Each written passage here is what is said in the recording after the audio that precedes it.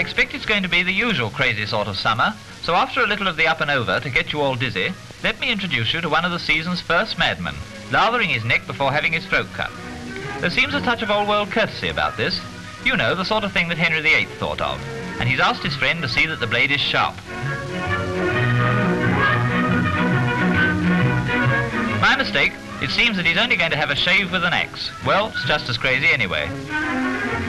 Here's something to cause a stampede in the cowshed. Only one horn and he wears it in the middle of his forehead. They were trying to get a unicorn and they grafted his two horns together, but they forgot that he ought to have been a horse to start with. They'll have to ask the Aga Khan to breed one. Finally, can you imagine a crazy coot having a periscope fitted to his holiday bowler? He's at the seaside on the lookout for the girl pet.